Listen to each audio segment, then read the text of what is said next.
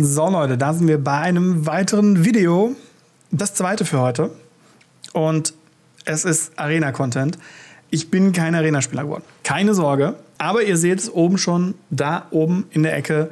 Das Ganze hier ist Werbung. Das bedeutet, Wizard of the Coast hat mich eingeladen auf Arena mit einem Account, der ein wenig, ein wenig Geld hat, ähm, ein bisschen Magic zu spielen. Und zwar mit den neuen Karten. Also wenn wir mal, ich kenne mich auf Arena super auf, aus, in die Collection gehen, sehen wir, wir haben hier schon Dungeons and Dragons Karten und Stifle. Und, und davon auf jeden Fall nicht zu wenige, sondern wir haben fast alle Dungeons and Dragons Karten und dementsprechend, ja, ja, wir können das spielen. Ich bin ganz schlecht in Arena-Sachen. Ähm, ich habe zwar mal Let's Played, ganz früher, ganz schlecht, aber ich glaube, das macht man so, indem man erstmal sein Deck vorstellt. Gucken wir uns das Deck an. Wir spielen ein Venture. Ich habe Venture falsch geschrieben, glaube ich. Hm, egal. Wir spielen heute ein Venture Deck, ein Venture Dungeon Deck. Ähm, das bedeutet, ich versuche so oft, so schnell ich kann, durch den Dungeon zu laufen. Und dafür habe ich natürlich die wichtigsten Karten mit Nadar, den äh, Drachen Knight und eben den Arc Lich Zombie Wizards. Dazu halt noch so ein paar Sachen wie Dungeon Crawl, der immer wieder kommt, äh, Shambling Ghast, weil er einfach Treasure machen kann. Mana Ramp ist nie schlecht. Jack for Traps ist einfach als Discarder da. Fate Reversal ist super, super interessant mit äh, Baron. Und der, der Barrow, Entschuldigung, der Barrow ist der Wahnsinn. Und ja, gucken wir uns das einfach in, in Action an. Ich habe ein paar Länder drin und äh, gucken wir uns das Deck mal an. Ähm, wie sich das für so einen Server gehört, sind nicht ganz so viele Leute online. Dementsprechend kann das ein bisschen länger dauern, deswegen äh, skippe ich mal hier zum Game-Bildschirm. So, da sind wir beim nächsten 201 dieses Mal.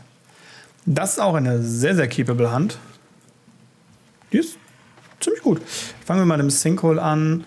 Je nachdem, was er Turn 1 macht, okay, dann müssen wir nicht mit dem Powered Kill anfangen, sondern können hier anfangen, auf eine Ebene zu gehen.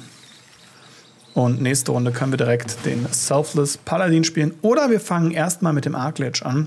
Aber der Arcledge selber macht noch nicht äh, so viel. Interessanterweise, ich kann euch gleich mal zeigen, wie die Venture Mechanic generell aussieht, wenn ihr es noch nicht gesehen habt. Und das ist tatsächlich sehr, sehr, sehr cool. Und ich bin gerade am überlegen, welchen Dungeon wir jetzt schon gehen, weil man, man, man, man kann hier halt schon den Dungeon sehen und alles.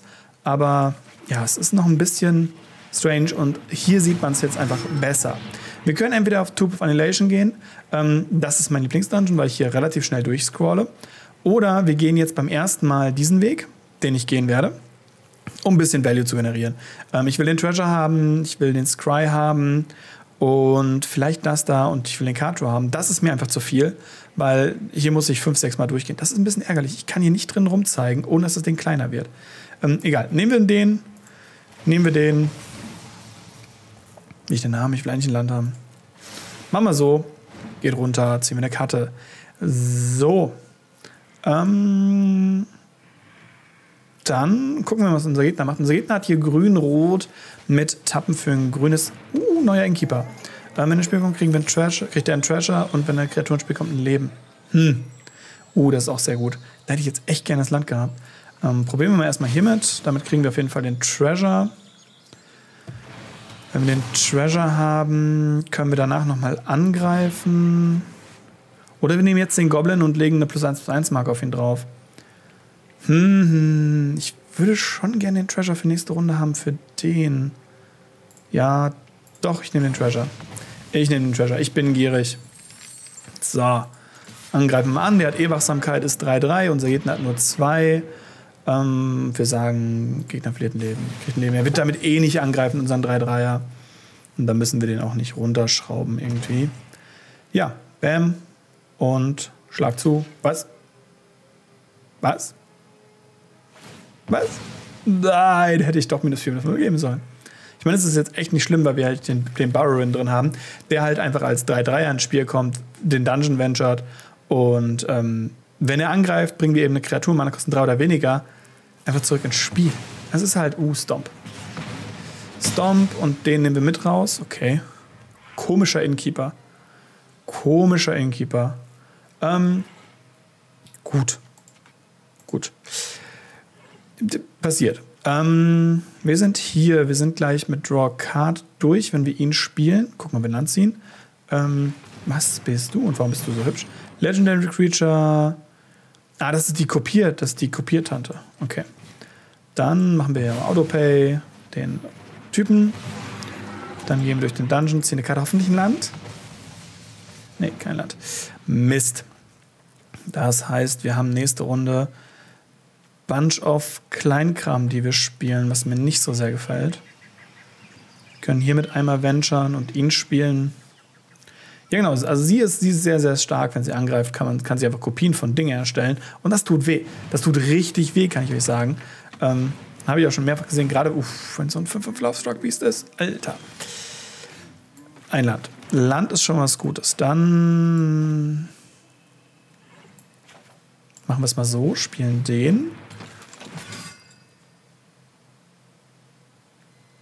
Uh, create a tapped attacking creature that's a copy of that attacks Juice target creature you control, then roll. Okay, ich kann auf den Juice kann ich Powered Kill spielen. Richtig? Richtig. So, dann. Ah, ich muss ja noch angreifen.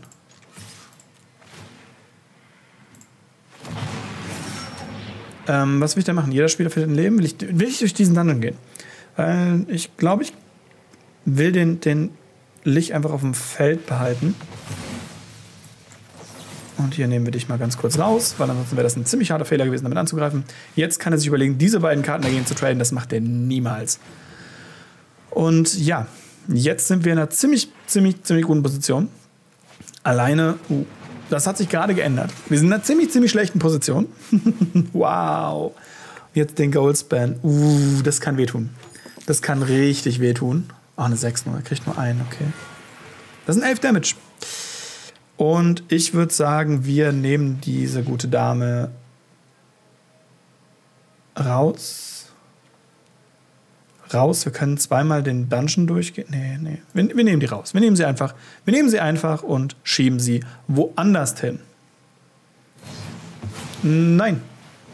Wir werden gestompt. Was mies ist. Nee, passiert. Gut, dann haben wir noch zwölf Leben. Wir müssen diese Dame mit Powered Kill umbringen, weil elf Schamane können wir umnieten. Dann würde ich sagen, schmeißen wir mal ein paar Blocker rein. Dann greifen wir mal mit allen an. Dann jeder Spieler verliert zwei Leben, wenn er nicht was discardet. Wir discarden den Lich. Und bringen ihn mit dem, mit dem Clan Undur ins Spiel. Das ist nämlich jetzt sehr, sehr, sehr nice. Ähm, weil dadurch nehmen wir ihn wieder auf die Hand und können den da machen. Es sei denn, wir opfern eine Kreatur, ein Artefakt. Dann würde ich sagen, opfern wir den gucken, was der andere opfert. Ähm, Artefakte hat er nicht mehr, die opfern kann. Ein Land glaube ich nicht, dass er opfert. Er wird wahrscheinlich hier diesen 1-1er opfern. Und dann kann ich hingehen und diesen auch noch umnieten. Wodurch er nächste Runde wirklich nur noch den Goldspan hat. Und ähm, dann mal gucken, ob er damit überlebt, weil das glaube ich tatsächlich nicht. Ähm, dass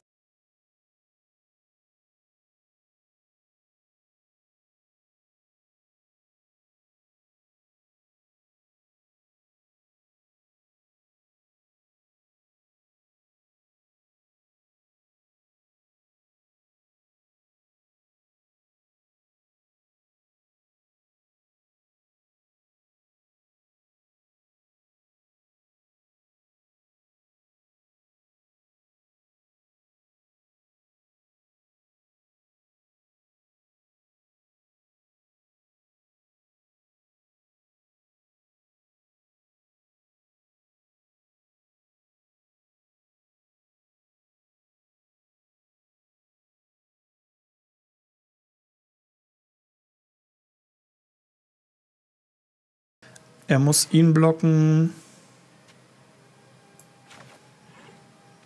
Hm, was mache ich denn hier? Was haben wir denn hier? Wir haben den Champion Guest, wir haben den Adventurer. Ich würde sagen, wir greifen einfach mal an und gucken, was er macht. Ich meine, wir kriegen dann 4-4 God Horror. Ähm. Hm, hm, hm, hm.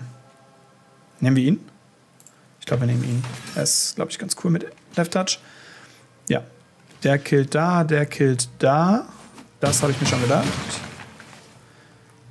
Dann würde ich sagen, geben wir unserem Gegner einen Treasure. Und killen diesen Drachen. Und wenn schon nochmal in den Dungeon, ähm, da würde ich sagen, wir machen. Brauchen wir ein Leben? K können wir? View Battlefield, da. Ähm, wir. Äh, äh, ich sag mal, ich sag mal, wir nehmen ein Leben. Neun Leben ist besser als acht Leben. Good game. Ein good game. Oh mein Gott, ein Gargadon. Ähm, Gargadon kriegt drei Leben, wenn er blockt. Wir machen nur drei Schaden. Das ist schlecht. Ähm, wir können den da droppen. Wir können den da droppen. Können damit angreifen. Weil er muss den so blocken, dann kriegt er drei Leben oder eine Bestie, wahrscheinlich die Bestie. Oder er zieht eine Karte. Ja, er nimmt die drei Leben. Ja, kann ich verstehen. Genau, unser Licht bleibt jetzt auf dem Feld, was sehr, sehr nice ist, weil wir jetzt einmal durch den Dungeon durch sind, durch den, den er haben möchte. Und ähm, dementsprechend ist das sehr, sehr cool für uns. Hm, schwarz. Dann ihn für den Paladin, dann Scry 1. Äh, das möchte, das doch, das möchte ich haben, das möchte ich haben. Auf jeden Fall möchte ich es haben. Dann Paladin. Ähm, can't attack. Der kann ich angreifen. Dann greifen mal alle an. Dann Scry 2. Alter, das ist, das ist so Banane. Ähm, die wollen wir nicht haben. Das ist, das ist wirklich doof. Das ist wirklich echt zu viel, was da gerade passiert. Vor allem, wir laufen halt durch die Dungeon einfach so durch. Wir haben die ganze Zeit Pulver. Und ohne dass wir irgendwas machen müssen, recyceln wir einfach immer wieder genau das, was wir haben. Also das ist, das ist, das ist, das ist hart, bin ich ehrlich. Ähm ich wüsste jetzt nicht, wie man Gegner hier. Ah, die ist. Den of. Okay, was, was? Stopp. Was machst du nochmal? Creatures, Haste. Okay, mein Gegner hat aufgegeben. Ähm, also innerlich wahrscheinlich.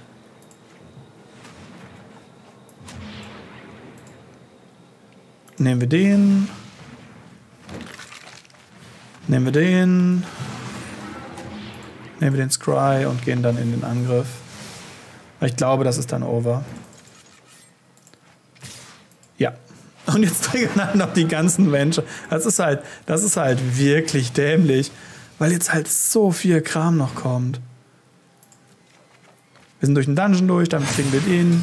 Ich möchte gerne den da behalten. Das da.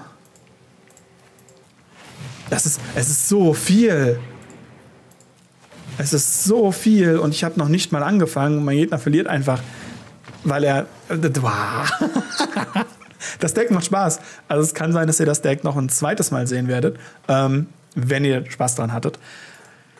Ja, das war eine Runde, ein Match dieses Decks. Gucken wir uns nochmal an.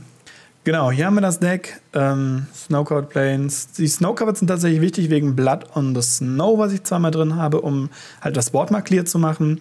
Und ansonsten haben wir hier eine Menge Venture der Dungeon-Karten, die echt echt strong sind. Das also macht schon Spaß. Und ähm, ja, ich hoffe, ihr könnt das demnächst auch mal nachbauen und auch mal spielen. Ich kann es euch nur empfehlen. Ich finde es großartig. Und auch am Ende nochmal Disclaimer. Ich spiele hier auf einem gesponserten Account, wo ich alles freigespielt habe, ähm, um euch ein bisschen die Experience vorher schon mal zu zeigen und so meinen Eindruck dahin zu hinterlassen und zu erzählen und so weiter. Deswegen danke dafür. Danke an Besatz für die Einladung und äh, wir sehen uns morgen wahrscheinlich mit einem anderen Deck und einer anderen Sache. Dementsprechend, wir sehen uns morgen. Bis dahin, euer Black Ciao, ciao.